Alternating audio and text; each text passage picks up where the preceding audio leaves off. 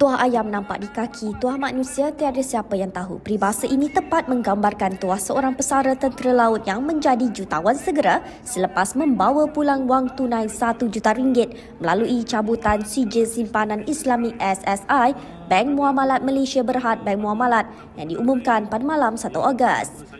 Sajihan MC Muhammad 63 tahun dari Seri Manjung Perak adalah jutawan ketiga bagi cabutan SSI Jutawan Hebat sejak dikenalkan Bank Muamalat pada Ogos 2023. Bapa kepada lima anak itu tidak pernah membayangkan sijil yang dibeli pada Mac lalu memberi tuah kepadanya dan bersyukur dengan rezeki yang diberikan.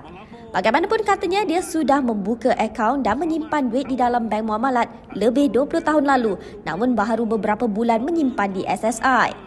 Sajihan berkata ketika ditemui selepas majlis penyampaian hadiah SSI edisi gemilang 25 tahun pada Karnival Jom Heboh Terengganu di pekarangan Kompleks Sukan Negeri Terengganu di Gong Badak.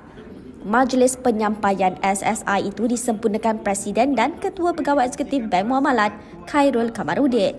Yang turut hadir Ketua Pegawai Operasi Media Prima Omnia Datuk Muhammad Effendi Omar dan Pengarang Urusan Kumpulan The New Straits Time Press Malaysia Berhad Datuk Ahmad Zaini Kamaruzaman.